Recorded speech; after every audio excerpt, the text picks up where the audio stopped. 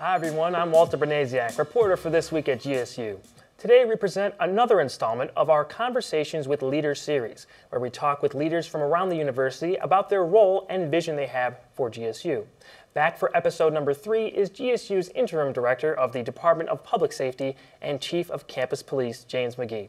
Good to have you here again, Chief. Mm, thank you. All right, this next segment is never easy to talk about, but Sure. uh, it's a real issue that I think needs to be addressed, and someone in your position uh, can give us some information about it. Sure. After the school shootings in Newtown, Connecticut last year, you released a public statement to GSU faculty, staff, and students. Why did you feel the need to release such a statement? Well, because a- again, it's it's a horrifying event that's taken place. Well, there's, there's several horrifying events that have taken place over the last several years, uh, starting with the uh, Virginia Tech uh, and the Colorado uh, high school shooting, just as well. Um, so the community is is, is in an uproar. Uh, uh, the community members are looking for ways to be uh, proactive and to uh, uh, to be able to assist and help themselves uh, in the event of an emergency that takes place. Uh, and uh, of course, uh, we've uh, instituted many measures to uh, be proactive against uh, an incident such as this of taking place here on Governors State. Right, and what, what's the real likelihood that something like that would happen here on campus at, at home for all of us? Odds are you're probably going to hit, get hit by lightning uh, more than an incident like this taking place. But the key is to be pre- proactive and preventative in your measures. So, what are you doing in, in your department doing to uh, prevent something like this from actually happening then? Well, Governors State as a whole has been has taken a proactive approach. Uh, in the past, before, such as the Virginia Tech shooting incident, uh, uh, studies have shown that these incidents could have been prevented. Uh, state legislation that uh, President Governor has uh, implemented, which is uh, the campus threat assessment team and our emergency response team that we have here on campus.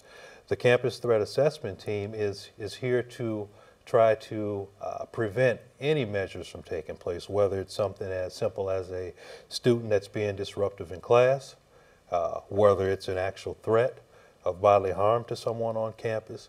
The campus threat assessment team then intervenes, and members that are on this campus threat assessment team are members from the psychological department, members of public safety, there's faculty and staff that's, uh, that all looks and examines this problem and try number one, to get that person assistance or help prior to it becoming a Virginia Tech or a Newton, Newtown school shooting.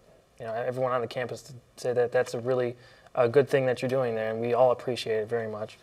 Uh, if said emergency does occur, though, I mean, there's always that chance. What is the protocol for students? What what are they going to do if, if something like this actually does happen?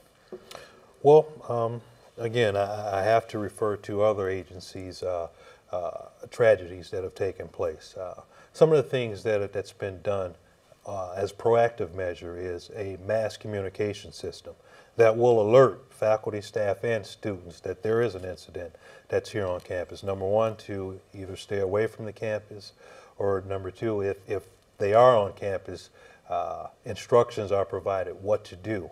Uh, and, and that information is given towards the beginning of the semester. It's given in student orientation as well as faculty orientations.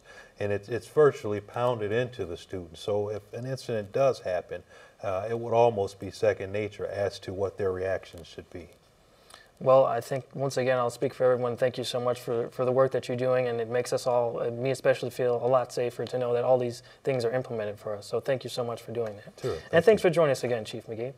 Uh, that's all the time that we have for, for today, but remember to like us on Facebook and follow us on Instagram and Twitter. For this week at GSU, I'm Walter Banasiak with Campus Police Chief James McGee, and you have just been twagged.